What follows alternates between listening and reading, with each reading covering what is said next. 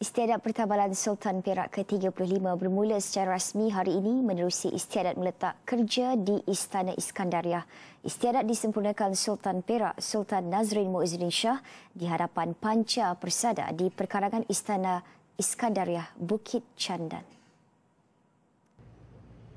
Pengisytiharan itu bermula pukul 9.50 pagi sebaik keberangkatan tiba Sultan Nazrin dan Raja Permaisuri Tuanku Zara Salim yang diiringi Menteri Besar Perak Datuk Seri Dr. Zamri Abdul Kadir.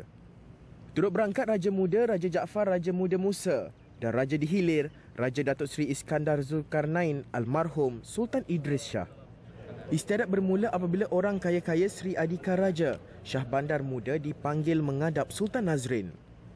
Sultan Nazrin kemudian berkenan melafazkan pengisytiharan istiadat meletak kerja pertabalan. Pertabalan Duli Yang Maha Mulia Paduka Sri Sultan Perak ke-35 Ia disusuli dengan bacaan doa oleh Mufti Perak Tan Sri Harusani Zakaria.